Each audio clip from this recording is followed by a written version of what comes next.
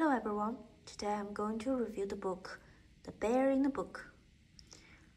It is by Kate Banks, pictures by Georg Hallensleben. Has the plastic cover. Even without the plastic um, cover, you can still see the authors, illustrators, and the name of the book.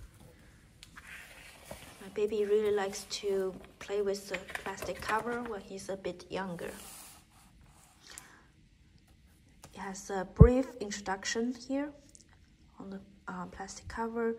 The price is about 19, six, uh, 16.99 US dollar. It's about um, a bear going to sleep, and it is, it is about a boy who picked this book from the shelf and find out how a bear goes to sleep and how the world changes around him. I really like the theme because I think um, stories about going to bed can make the kids more sleepy than they really are. And that's great news for the parents. It is, let's see, so here it's from the Frances Foster Books, New York. Sorry for this damages. My baby, it's a soft book, so it's very prone to get damaged by uh, smaller babies.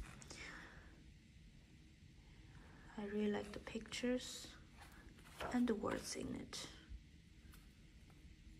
I just wish it can be a board book kind of material.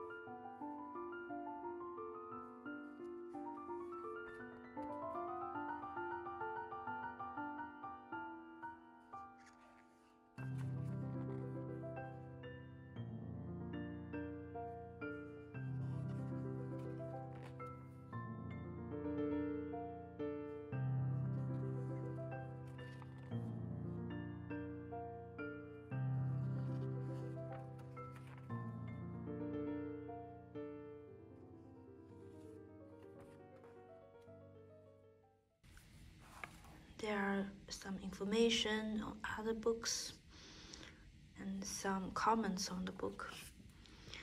Yeah, I think that's about it. For the price wise, I think uh, it's a bit expensive. If it, you can get it in within, I think 10 US dollar or yeah, something like that, it can be better. The material, I think the content is quite interesting for the adults to read because it's not too easy. The story is not too short. It has more of the elaborate things on the story. And I think it's pretty clever to have a book about uh, the boy and uh, his mama reading a book. Basically, a book in a book. Yeah, so that's about it. Thank you.